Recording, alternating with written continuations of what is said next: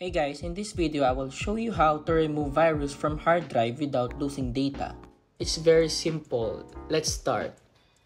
First, on your taskbar, go to search and type in clean mgr. And simply click this disk cleaner. And go ahead, click OK. Now inside, select this all. This is all the non-usable files on your computer which there's no benefit on your computer. In my case, it's a total of 1.24 GB. Now click open up system files. And click OK again and wait for a few seconds and do the same process again. But now, just click OK. Now once it's done, go ahead to search and type in run. Type here temp and click OK.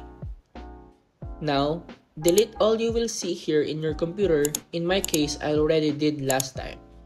Now, same case again, go to run and type in percentage temp percentage. Now in here, select all by clicking Ctrl A and go ahead and delete it.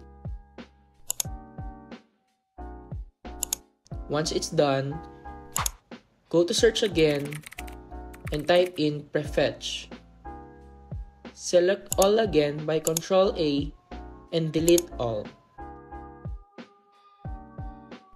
Now to finish it up, go to your recycle bin and delete all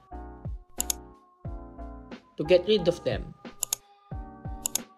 So once you're done, you're good to go. So just that simple. I hope this video helped you out.